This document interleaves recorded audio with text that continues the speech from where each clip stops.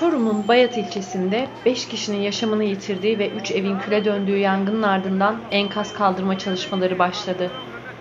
Yangın dün saat 15 sıralarında ilçeye bağlı Yatukçu mahallesinde Ömer Çetin'e ait iki katlı ahşap evde çıktı.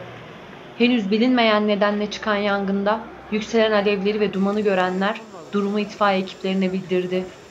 İhbar üzerine bölgeye sağlık ve itfaiye ekipleri sevk edildi.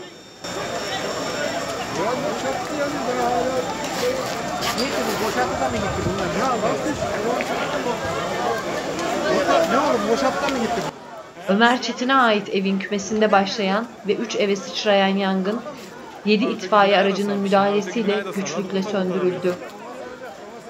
Ekiplerin yaptığı incelemede Ömer Çetin, Yusuf İçüz, Elif Naz Çetin, Ela Çetin ve Elif Üçüz'ün de cansız bedenine ulaşıldı.